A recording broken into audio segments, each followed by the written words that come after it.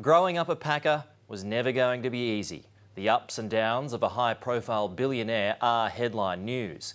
But now James Packer is setting the record straight on everything from his split with Mariah Carey to Scientology and his very public breakdown.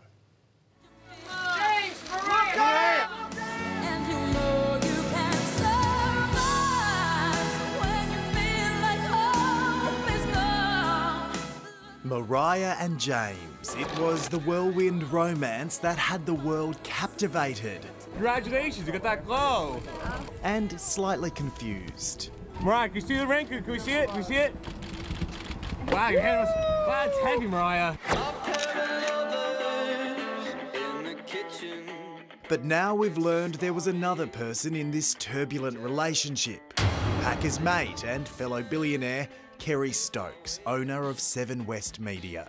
The wealth to which Mariah thought she was entitled um, was beyond anything I could have ever comprehended. Stokes played a pivotal role in this wedding not going ahead. Yep, Stokes certainly wasn't a fan of Mariah's costly diva antics. I mean, we're talking about a woman here who apparently demanded Packer play her greatest hits on a loop inside his Crown casino while they were dating. But wait until you hear the lengths Stokes was willing to go to to stop the marriage from happening. And Mariah and her entourage were extremely concerned when James basically disappeared and they accused Stokes, amazingly, of kidnapping him. Well, life's a gamble, isn't it? Emotions were certainly running high throughout the couple's entire 18 month relationship.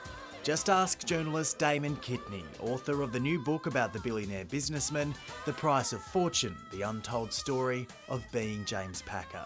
You could call it a, a soap opera, really, and it is the human story of inheriting $5 billion and then trying to manage that fortune.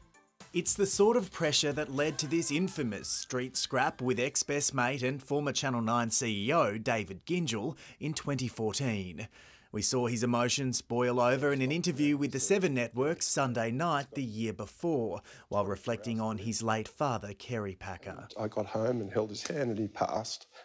It was in 2015 when Packer's new relationship with Mariah Carey went public. At the start of that year, James was in a really terrible position mentally. Um, he was carrying a lot of debt. But then in 2016, his company Crown Resorts was hit with a $360 million bill from the tax office. And that really pushed him over the edge. Fair to say, things were pretty stressful for Packer. His weight fluctuated and he relied on alcohol to cope, telling Kitney there were times he was drinking more than a bottle of vodka a day. The new high pressure, expensive relationship playing out in front of the world's media was not helping the situation. It's been reported Mariah would spend at least 45,000 US dollars a year on spa treatments for her pet Jack Russell dogs. The sort of thing you read about, but don't expect to experience. Enter Packer's billionaire bestie, Kerry Stokes. It's like you get a wounded animal or get a bird with a broken wing. It's suddenly surrounded by all sorts of varmints and creatures who actually want to prey on it. I guess James appeared to me at that point in time to be in that position.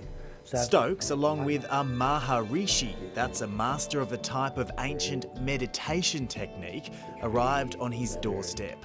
When the meditation didn't work, Stokes essentially took charge of Packer's affairs and suggested he go to Israel for some downtime.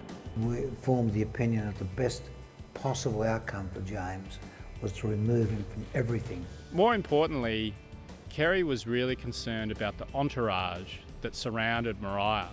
He was very worried that they were pushing both James and Mariah to get married quickly. Packer and Mariah were engaged at this point, due to wed in Bora Bora aboard the billionaire's yacht Arctic P in just weeks. The singer was sporting a 35 carat Wilfredo Rosado designed engagement ring worth a staggering $13.2 million. And an outrageous prenuptial agreement was drawn up. Jewellery given to Mariah worth more than $250,000 was not a gift unless stipulated in writing, and the pop star would be paid $6 million annually from Packer during each full year of the marriage. That would have to be just about the most unromantic contract you could conjure up. Fiona Connolly is editor of Woman's Day. I mean, Mariah Carey's diva demands are out of control. She has 20 humidifiers to put her to sleep, a personal massager. I mean, her dogs travel first class on their, in their own seats on an, on an aeroplane. So um, I'd say this was very difficult for James to keep up with.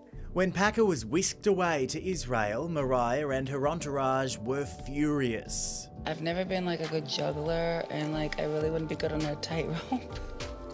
Yet that's what I walk every day. In the new book, it's revealed Stokes went to the extraordinary lengths of arranging for Packer's private jet to be put into maintenance so he couldn't leave Israel. He denied Mariah's pleas to fly her and her entourage to the country and even organised for the luxury yacht to be moved from Bora Bora so the wedding couldn't take place. Spoke to the captain, there was the prospect of a possible storm, so we decided that, which meant that the wedding, of course, couldn't happen at that point in time. It would ultimately lead to the end of the couple's relationship. Packer revealing the engagement was called off in late September 2016.